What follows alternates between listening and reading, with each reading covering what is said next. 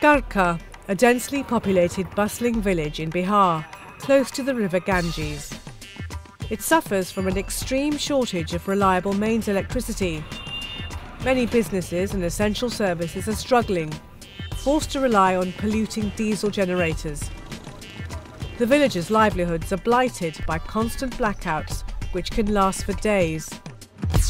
This all started to change 18 months ago, thanks to Saran Renewable Energy. They brought in a high quality, reliable, and renewable form of electrical power. It's called gasification. I feel very happy because I'm helping a lot of people in and around Garkha. Local farmers supply the plant with biomass fuel. This is fed into the gasifier every 15 minutes. The wood is heated to several hundred degrees until it gives off a mix of flammable gases such as hydrogen and methane. This is the second part of the process.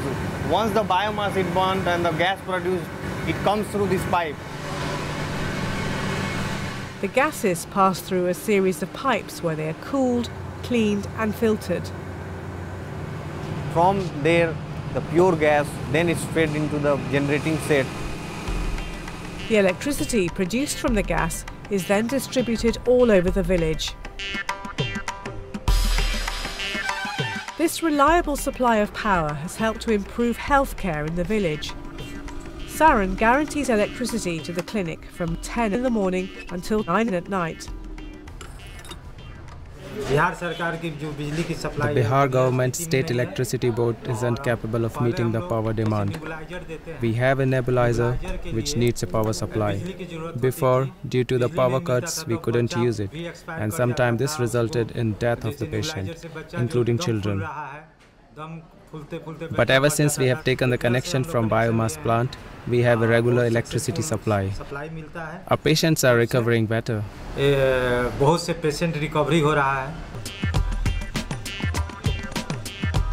Many small businesses have been revitalised. Now they have a guaranteed supply of electricity throughout their working day.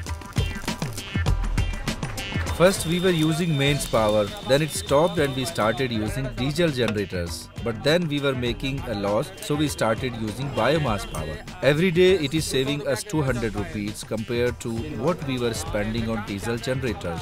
We are getting more work done more efficiently. Our income has gone up a bit as well. We have no worries now. Most of the fuel that powers the gasifier is daincha, a hardy woody plant that grows quickly in waterlogged land. Growing daincha is hassle-free and very easy. It doesn't need fertilizers. It doesn't require much effort and it is very economical. It's generating money for our survival. It supports my family.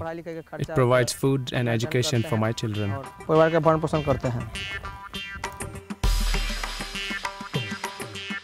But it's not all work and no play in Garkha.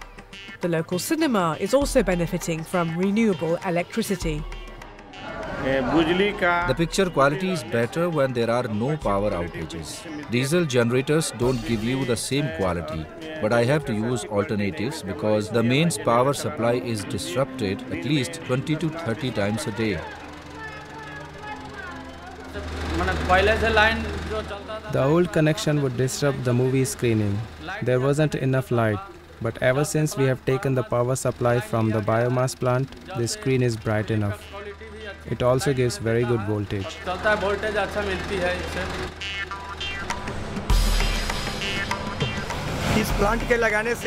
This biomass gasification plant benefits people in several ways. It creates a livelihood for the farmers. It has generated income for them.